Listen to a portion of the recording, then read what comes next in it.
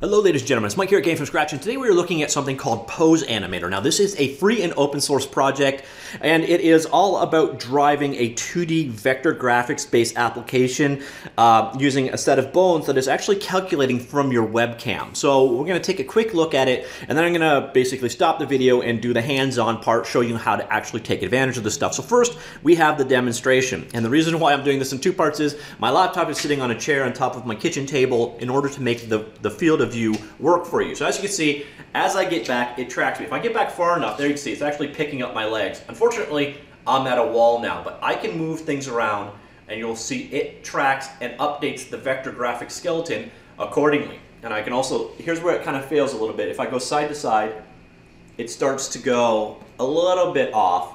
Uh, but for the most part, it works. And the cool thing is, you can see as I get up closer, the amount of face tracking that's going on. Now, she lags a bit, but if I do exaggerated motions, it picks them up. And that's kind of essentially what we are looking at here today. We've also got the ability to show uh, a little bit more detail. This is the control rig that is driving uh, from my motions her actions. Very kind of cool in that regard. Uh, it is a bit of a beast of a process, even on my machine that's fairly current and new. We're running at 10 to 20 frames per second, unfortunately. Uh, but you can see it, it, can be used to drive an SVG-based skeleton. So what you could do with this in a game development world is you could actually have this recording out to uh, sprite sheets, or you could pull out the, the, data and kind of apply it after the fact. Really kind of get rid of a lot of the slowdown we've got going on. But that's kind of the process we're looking at today. There's actually a second part to this as well. We're gonna head on back here. This is from the page. I will show you all that. All the link details will be down below, but there's also this demo. And it's a very similar process, but in this case, it is using the um, uh, a static image to drive it. So same kind of concept.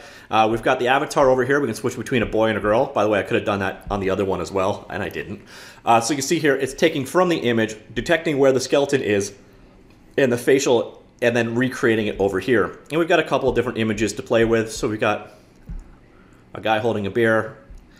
And you can see it's kind of picking up the facial animations as well. We go down here, we've got a full body shot of a girl in an actual pose, and you can see them picking up on the other end. So uh, that is essentially what this tool does. The next part of this, I'm going to switch over to a headset. I'm going to walk you through the process of actually getting it up and running. There's a couple of gotchas right now, but for the most part, it's pretty easy. So I will be right back.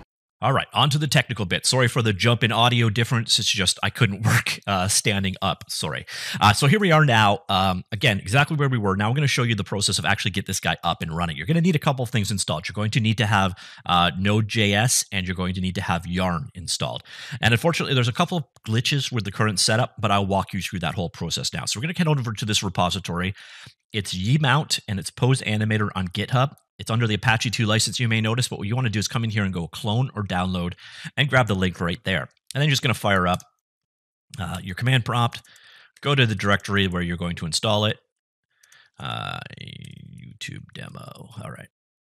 I already got one. Okay. Uh, MD YouTube. All right.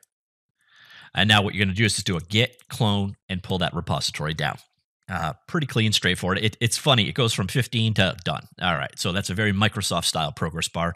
Once that's done, what you would normally do right now is just run yarn, assuming you have yarn installed, uh, and then yarn watch. Problem is, it doesn't actually work. There's a few problems here, and I'll show you them right now. So Explorer, open up that directory. You're going to see here in Pose Animator, You've got this package.json right here. And we're going to go ahead and open that up with our code editor of choice.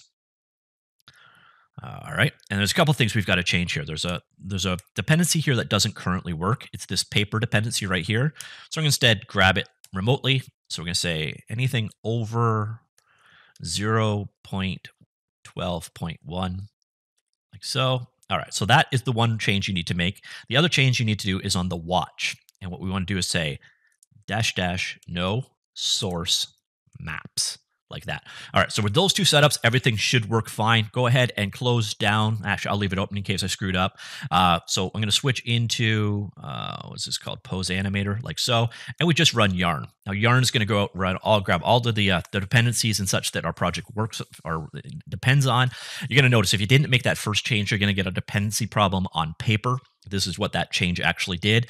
And now, in theory, you should just be able to run Yarn and then watch. Now, this will fail if you don't do that no source maps, at least for now. Uh, all right, for some reason, port 1234 is in use, so we're on port 54023. You'll notice it will automatically launch in the browser for you. And the two demos we were just looking at are here. So the camera feed demo, go ahead and run that. All right, there you go. As you see, I am now a giant scary owl. I still have hand movement, like you can see here. Uh, unfortunately, I'm a little closer now, so it's not going to work. But you're going to see here, you've got additional options when you install the local version. So we're going to go over here. You can see we've got the boy, girl, abstract. It loses a little something. And then we got Blathers, which is the owl. And then finally, Tom Nook, who has no face or a mouth, I mean. Uh, again, you've got the ability to, to see what's going on and, and such. And I'm going to flip on back. That really kills performance, by the way. And then you still got the image example available right here. Now, you're going to notice in the image example, um, you have those additional avatars as well that will have the, the pose applied to them. Like so, like that.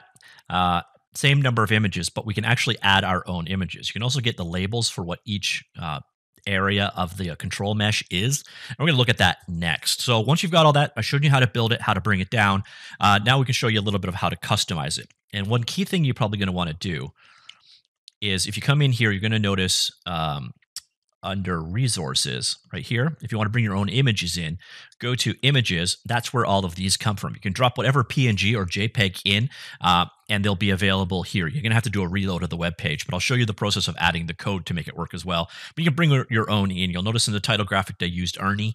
Uh, so you can bring in any PNG, JPEG file. But once you've done that, you actually have to come back here to resources, back to the root. You'll notice we're in static image.html just come on down here to static image.javascript. Open that up in code as well. You're going to see here, all you need to do is basically create a duplicate of this line. So you do import as and then my body from and then path to your image. And then down here, you just add it to the list. So here you'd say whatever your name was up above. So my body. And here you would do your image name dot default and then do save, reload, and your custom images are in for the post version of it. Now, if you're interested in learning a little bit more about this, let's head on back over here to the web page. Again, we'll be linked down below. This guy is, let's see, right back, Apache 2 licensed, as you see right here. Uh, it is a developer at um, Google, but has no affiliation with Google. Uh, but you see, Pose Animator takes a 2D vector illustration based um, and animates it containing curves and real time data based on recognition results from PoseNet and FaceMesh.